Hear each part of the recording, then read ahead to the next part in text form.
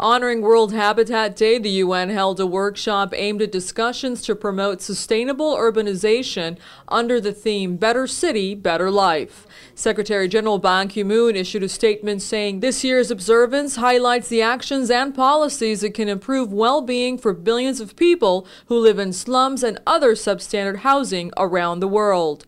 London won the Olympic bid on July 2005 over bids from Paris, Madrid, and New York, among other candidates candidates.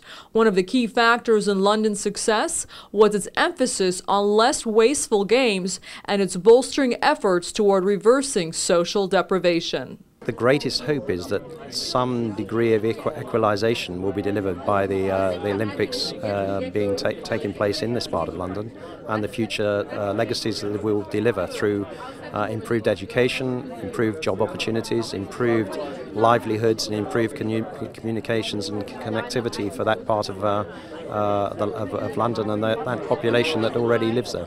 The UN estimates that more than 1 billion people live in slums and could reach to 1.39 billion in 2020.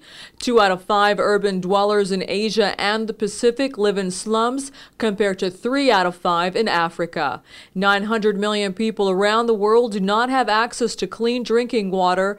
200 million of those deprived of this necessity are from India alone. Olympic bids have also helped Brazil in bolstering sustainable urban development with the 2016 Olympics set for Rio de Janeiro. This is important to to make possible create more social housing inside to the city and so this for the, the uh, there's no evidence that the the the new mobility the new urban mobility will be the the the most important legacy to, uh, from the Olympic Games.